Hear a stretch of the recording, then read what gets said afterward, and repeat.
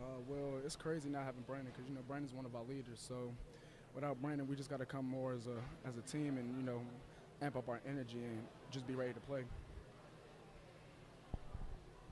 had a nice game, the Steelers um, mm-hmm. scoring and stuff, but just talk about going against um, Anderson and, and the big shot blocker that they have in the middle there. Uh, it's great going against great competition all across the country. It's just it's just a beautiful sight to see, and as well as just got to be ready for that. Like playing against other high class players really brings up energy for myself, and not only myself, just the team. So playing against high class players is one of the best things ever.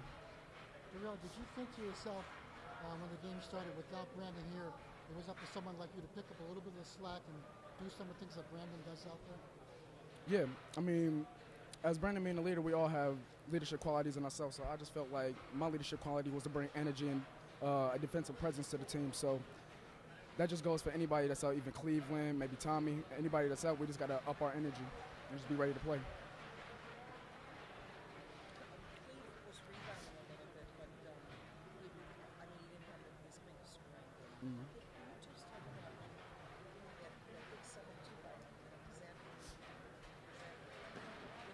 Yeah. Is it like more of a, even psychologically? Uh, well, at the end of the day, basketball is basketball. So when you have a guy that's that tall and that aggressive and knows what he's doing, it's just you just gotta play through that. I mean, you can't really let it get into your mind mentally because once you do that, then you're done. So really, you just gotta let that go off your head and just play basketball.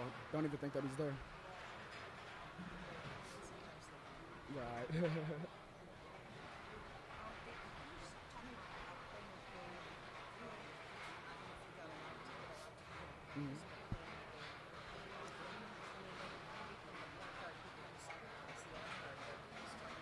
Uh, Billy's a great player. I love playing with Billy, as well as everybody on the team. Is just me and Billy have a good connection with on the court and off the court. So playing with Billy is just like me playing with Brian and me playing with Jamie. Is just a beautiful sight to see.